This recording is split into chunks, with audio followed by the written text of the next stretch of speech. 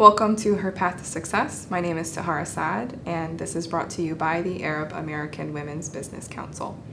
Continuing on our series for Women of Influence, talking about women taking unconventional passions and turning them into something substantial. Uh, today, we have a guest that I think is extremely motivational and very, very inspirational for the journey that she's gone through and just the achievements that she's accomplished so far and I think you'll hear a little bit more about her story, and I'm sure you'll agree with me. Thank you, Rahaf. Thank you, Tahara, for having me.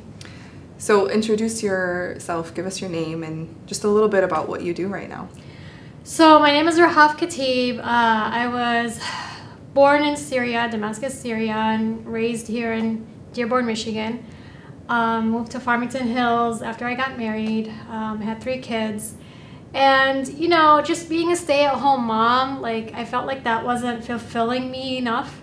Um, I felt like I was alone. I felt like, okay, well, what's my purpose? You know, what am I doing here? Even though I have a degree and I, you know, graduated college, but I chose to stay at home to take care of my three kids. But then I wanted something else to fulfill me, um, to make me feel whole felt like something was missing. Felt like something was missing, and I needed something, you know, to do to occupy my brain, you know, and not mm-hmm. just, you know, watch cartoons all day with my kids. So just being a mom all day. Yeah, and you know, I started going to the gym, but then that wasn't fulfilling enough either. And then one day, my son's gym teacher asked me to register for a race with her, and I said, "Yeah." That sounds so amazing, even though I had no idea what distance, I had no training plan. I had no clue as to how to get started, but I registered for the race, and that was my step one of getting out there. And um, and I must have trained for just a month, you know. Uh-huh. And it was a 10k distance. I started with a 10k distance, wow. not a 5k, because I was like, well, I want to put my money to good use, and I don't want to pay for just running 30 minutes. I want to pay for running, you know, for an hour. Right. Go Maybe. big or go home. Go big or go home.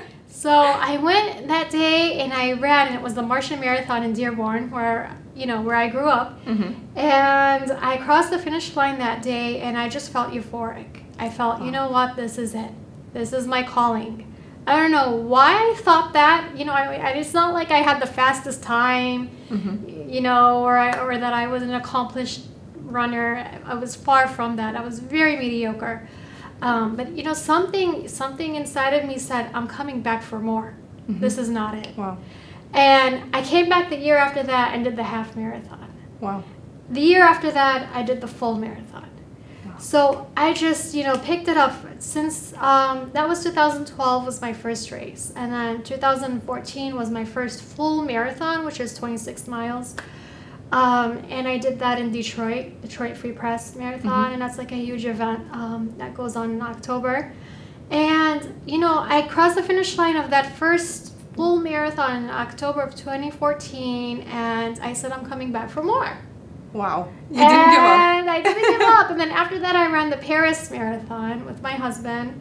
Mm-hmm. And then after that, I think I ran Chicago. But um, what really changed things for me is when I register to be in a contest for Runner's World. I don't know if you remember this. Um, I do. I do. And you followed me through my journey since day one. Yes. Oh, yeah. And I, I registered for a contest to be on a cover of a running magazine because mm-hmm. I said, hey, I love running now. This is my calling. This is my Might purpose. Well.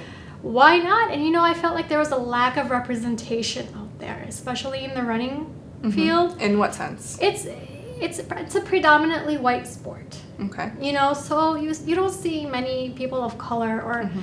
You know, it's, it's an expensive sport too. So you don't mm-hmm. see, you know, people like just throwing their money at, at running. It's, it's just not you know, like I said, you don't. There's not much diversity in the sport. So right. I said, me registering for this contest, um, putting myself out there, I, I I need to diversify the field a little bit you know right. and um, how come we don't see muslim women covered muslim women in magazines in sporting magazines this is mm-hmm. way before ibtihaj muhammad right you know right. way before you know all of that um, yeah so i did that in 2015 it was may 2015 mm-hmm.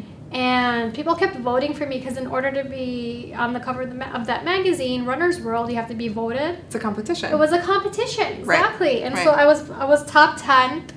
Um, amazing. They flew us all in New York. We were on the Today Show. We met Natalie Morales. We met so many other significant people in the running Mm-hmm. field, and it was an amazing time. And and then that that time came for the judges because we had five judges at the time to vote. Unfortunately, I didn't make it on that cover. Still an amazing accomplishment, Yeah. though. You went so far to be Yeah. a visibly Muslim woman, an Right. Arab American woman. Yeah, yeah, yeah. To make it up to that level is it's amazing, Yeah. and I think you did a really good job Thank of you so much. of showing that diversity in running. That Thank you. not not to no two people look the same. Right, and it's it's crazy the comments I get, especially at that time, about oh like, are you allowed to run or Right. or You- like what do Muslims The hate- the hate think? comments. And yeah, the hate comments and the trolls and everything. But my journey didn't end there. Mm-mm, So- not even close. No. Little did I know. I had no idea what was coming. Um, Oh, I was really disappointed I didn't get the cover. Right. But um, alhamdulillah, I was still in that magazine because the contestants Right. were featured. They did a Right. story on each contestant. There were 10 top 10 contestants. So you didn't give up. I didn't give up. I didn't give up. I prayed and prayed and I said, God, if this is meant to happen, let it happen. I don't know how or when, just please. I worked so hard and, and, Mhm. and then that's just it. You know, I just put it in my mind that I'm going to be on the cover of the magazine, of a running magazine.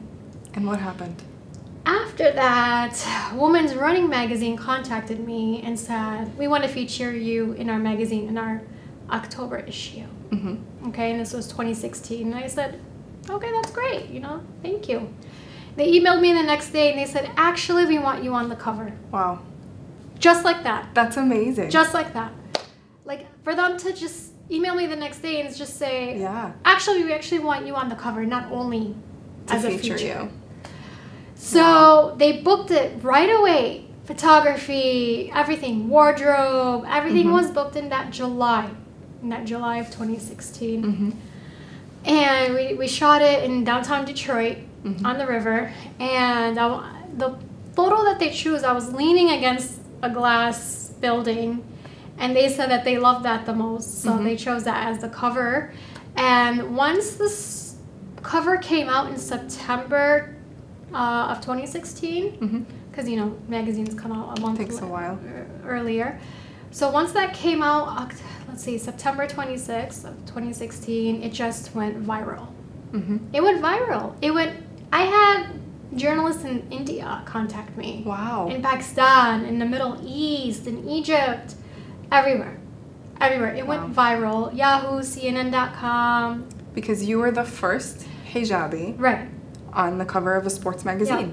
Yeah. Yeah. So, you know, I guess, and and it was about time that happened. Right. It was about time that happened. Because you're not the first hijabi athlete. Exactly. And So- you know, we're here. We exist. Right. We exist in all different fields. Mhm. Um, and so, you know, it was it was about time this happened. So I think that I like that because that's why I say you're so inspirational because you took something that could have been a negative, Mhm. right? You got started, you went for this competition, you didn't win. Yeah. You could have very easily said, "Okay, well that was my shot. I Yeah. I'm not going to do anymore." Yeah. Yeah. And you could have decided to take all that hate comments and Mhm. all those negativity and not want to be in the spotlight anymore. Yeah. But you continued to do that and you put yourself out there not for yourself or your own Yeah. personal gain, no, not at all. but to be an inspiration for my kids, for my community, for people who've always felt different Right. growing up. You know, Exactly. and and you know, just scrolling along in Instagram, I saw at that time there was no covered Muslim woman runner, Right. Right. and so I created this Instagram account, and now it has, you know, Run like a hijabi. run like a hijabi and now it's like up to 20k followers and like i have a platform now and i feel Right. so grateful and i've had so many opportunities come to me like just fell on my lap like i Right. felt i feel so blessed for those opportunities Right. You did a campaign with Reebok. i did a campaign with reebok with new balance Right. um, garmin which is which are the watches for um, athletes endurance it's- athletes It's so amazing to see because for me, I think one of the biggest accomplishments is you've completed all of the world major marathons. Yes, that's another Now, crazy thing that happened in my life. now for me, it's even crazier because you and I went to middle school and high school together. Yeah. And we took gym together. yes, we did. And we failed all of our running together. It was not good. we would drag each other across the line and still fail and have to retake it. yeah. That was, So, I would cry on some days. Yes. I would cry. And I know you were so like, you needed those good grades because you were like, It's I the only thing, yeah. Good GPA. Yeah. I didn't care about GPA. I, just, I didn't want to run in gym class. Like, I think because I was pressured and that created anxiety. right, yeah. And so that just made me have a negative um, thinking about running. right. But now that I'm doing it on my own, on my own terms, Mm-hmm. on my own pace, I, I love it. Right. Because you I choose it. it. And it gave me an outlet, Yeah. you know, and it So gave me my more. me time and it gave me a sense of accomplishment. Right. So, um, yeah, and ever since then, alhamdulillah, I've, I've run the six world majors in less than two years. I've raised over $22,000 for charity. Amazing. So, alhamdulillah, like, that's my way of giving back because they say marathoning can be a very selfish sport hmm because it's all about training, it's all about me, me, me, you Right. know, but this way I felt like I can give back. That's amazing. So, at the same time, I'm hitting, you know, what they say, two birds with one stone. So, right. alhamdulillah, and I hope to do more. So, I hope so too. And, and I have no doubt of the fact. And Thank you. I'm so proud of everything you've accomplished. You're thank you. an inspiration not only to hijabi women that you know feel misrepresented or underrepresented in the media or sports or any field really but you're an inspiration to any woman who you. feels unfulfilled and doesn't know what to do to feel accomplished or to be whole because it's Yeah. a, it's a it's a big feeling and it Mhm. has a lot to do with depression and anxiety Mhm. and, and so many other Oh, for sure. effects Oh, yeah. Oh, yeah. Postpartum depression. all of that And, you know, now with my dad being sick with cancer, right it's it's also a form of outlet. Running is a Mhm. form of outlet for me. right So, and you took you found your passion accidentally accidentally. and then you took that passion and ran with it literally Yeah, no and figuratively.